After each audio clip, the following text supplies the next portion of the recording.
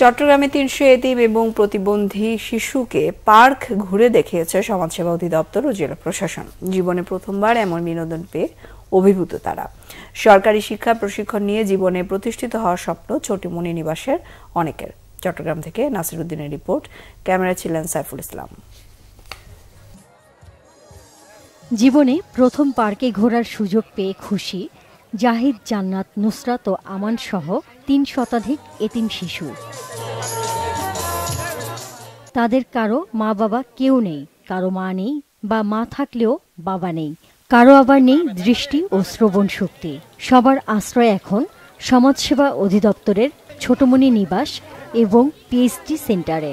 এখানে থাকা খাওয়ার ব্যবস্থা থাকলেও নেই বিনোদনের ব্যবস্থা। সমাজসেবা অধিদপ্তর ও জেলা প্রশাসনের সমন্বিত উদ্যোগে চট্টগ্রামের বিনোদন কেন্দ্রগুলো ঘুরে দেখার সুযোগ পায় তিন শতাধিক এতিম শিশু। মা বাবা নাই তো আগে কষ্ট লাগতো। এখন তো এখন সাঁতার দেখতেছে তখন আমার মনটা ভালো লাগতেছে তাই। তাই আগে তো কখনো- কোনোদিন এরকম জায়গাতে যাওয়া হয় নাই। তো আমার খুব খুশি লাগতেছে এখানে এসে। ফান্টা। সাগর নৌকা। সাগর নৌকা স্লিপার খেলার জিনিস তারপর ফুল। আমার এখানে এসে অনেক ভালো লাগছে। আমরা এতটাই খুশি যে আমরা জানতাম না এখানে আসব। আমাদের কালকে রাতে জানানো হয়েছে। ফুলগুলোকে দেখে আমাদের মনটা খুব মনোমুগ্ধ হয়ে তুলছে এখানে। ফুল ফাঙ্কা সাগর বেলুন নৌকা। সরকারি শিক্ষা প্রশিক্ষণ নিয়ে প্রতিষ্ঠিত হওয়ার স্বপ্ন দেখে এদের অনেকে। শিক্ষার পাশাপাশি এটা একটা শিক্ষার অংশ, বিনোদনও কিন্তু শিক্ষার অংশ।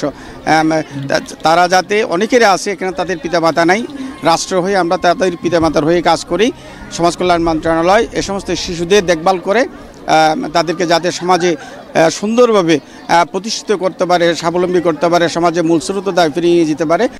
বিনোদন কেন্দ্রের মতো চিড়িয়াখানাও শিশুদের জন্য একদিন উন্মুক্ত রাখার আশ্বাস দিয়েছেন জেলা প্রশাসক।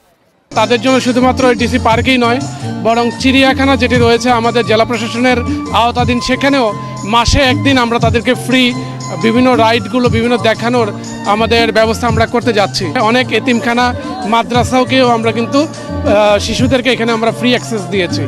আমরা বিশ্বাস করি যে ওরা এখান থেকে অনেক কিছু শিখতে পারবে। এতিম এবং বিশেষ চাহিদা সম্পন্ন শিশুদের বেড়ে উঠতে এ ধরনের আরও উদ্যোগের তাগিদ সচেতনদের। Bangla vision news desk.